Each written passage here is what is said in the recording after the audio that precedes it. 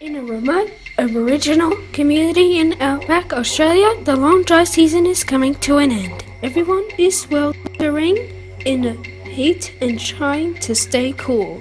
The kids are sleeping outside, the dusty dogs dig to find cool earth, and the fat green frogs huddled together by the rainwater tank.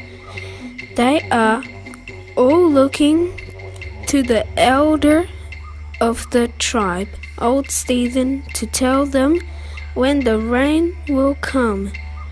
Will it be on Sunday? Maybe by Wednesday. Please sit back, relax, as we find out when the rain will come. On Sunday afternoon, old Stephen nodded to the dark clouds spreading in the south. Big rain coming, he said. But on Monday there was no rain. The night was so warm, Rosie's kids dragged their beds outside to maybe feel some breeze while they slept. On Tuesday there was still no rain.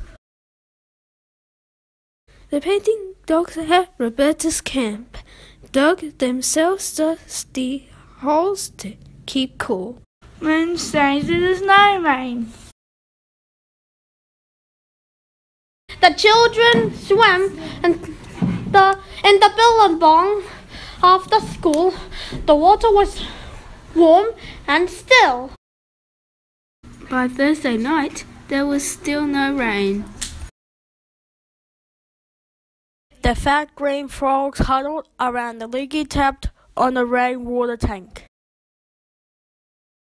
On Friday evening, the thick grey clouds over the hills were echoing with thunder. Big rain coming. But there was still no rain. On Saturday, there was rain. Marvellous! Wonderful! Go! Rain! rain.